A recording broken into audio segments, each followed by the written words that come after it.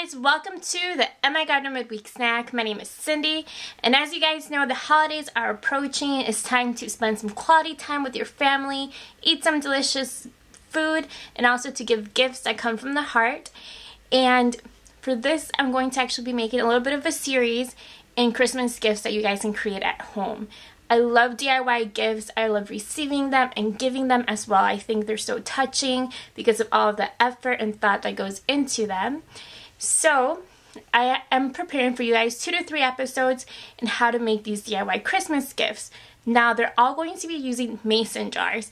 And as you guys know, fellow gardeners, we do use mason jars. I personally love how versatile they are. There's so many uses to them, and I think they're a wonderful gift because it can be used in separate ways afterwards. Um, the gift is given to them.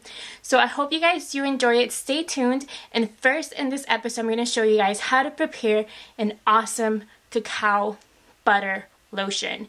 And it's just divine. I really love it. And it's also super versatile because maybe you want to make some lip balm so you can make it as a lotion or use it as a lip balm too. And it's all friendly for both male and female. So stay tuned and check it out.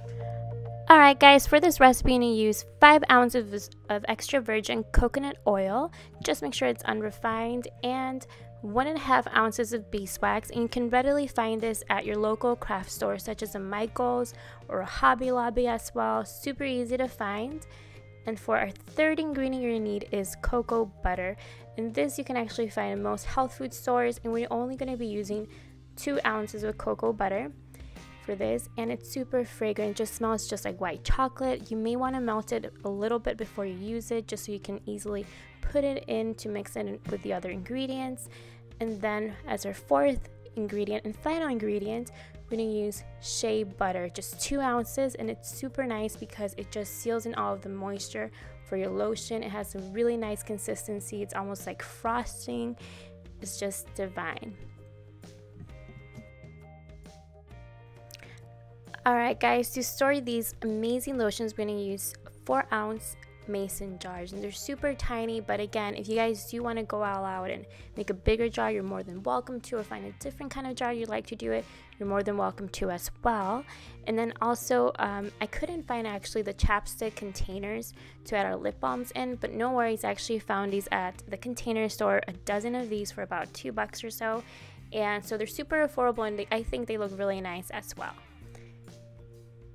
Next tip up is I wanted to share with you guys and how to decor your little mason jars just to add some kind of personal touch or you might just go something that is super simple up to you.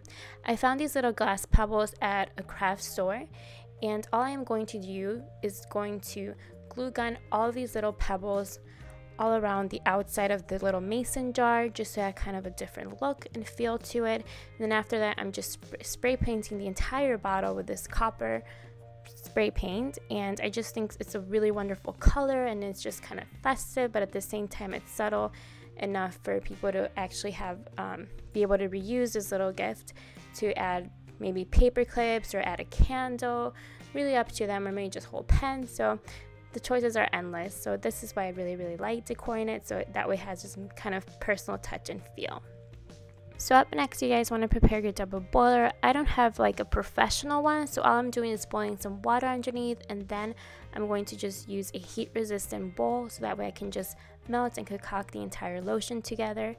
And after that, I'm just going to prepare all the sizes so that way I can just easily pour everything in as I go. And there is just kind of a little bit of a science and timing with this. So first you want to make sure that you pour in your five ounces of coconut oil into the stove. Make sure it just kind of melts completely and it's just kind of a clear color at first. It's going to be a little bit grayish.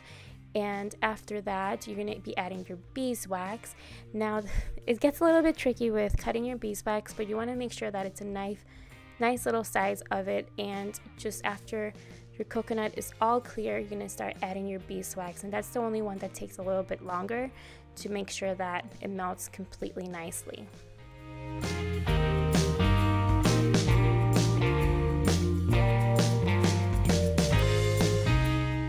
Now in goes our first ingredient, the coconut oil. And then after that, like I said, is the beeswax. Just make sure it's nicely all melted down.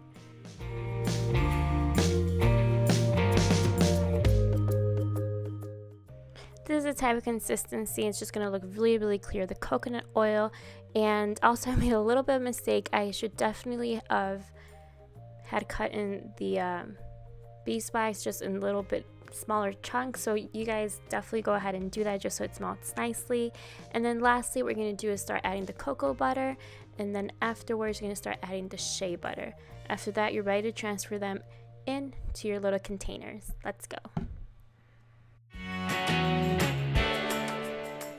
And voila, here are the results. I poured them all one by one and I'm so delighted with the results. They're just wonderful. They're the perfect texture for the lip balm, for the lotion. I love the scent of them. But you guys can definitely personalize it even a step further by adding during the melting process your favorite essential oil, about six to eight drops or so.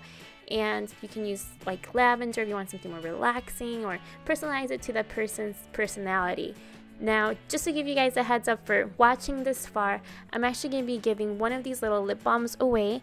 All you have to do is comment down below and let us know that you're interested in a free lip balm and I will definitely send it over to your home. And this is just another idea, maybe you want to spray paint it two tones and whatever kind of colors you want, go for it. Now, lastly, I just wanted to show you a little bit of a close-up of what I did to give this as a gift. I just add a little bit bow and that is it. Enjoy!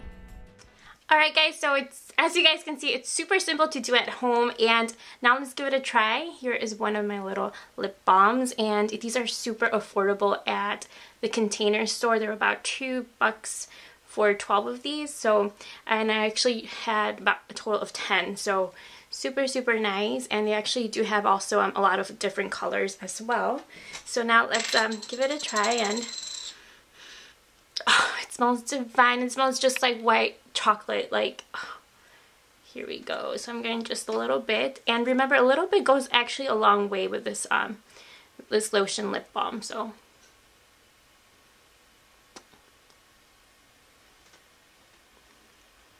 As you guys can see it gives a nice little shine to your lips and it's super super hydrating.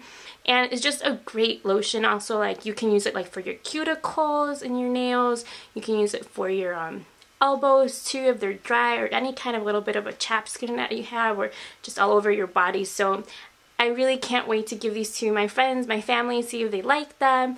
So, um, and I hope you guys enjoyed this episode. Stay tuned for more because I'm definitely going to be uploading more episodes and these Christmas gift ideas and also some holiday recipes too. So I hope you guys are having a wonderful week and a fresh new week actually. I love you guys all. Thank you so much for watching. Until next time. Bye.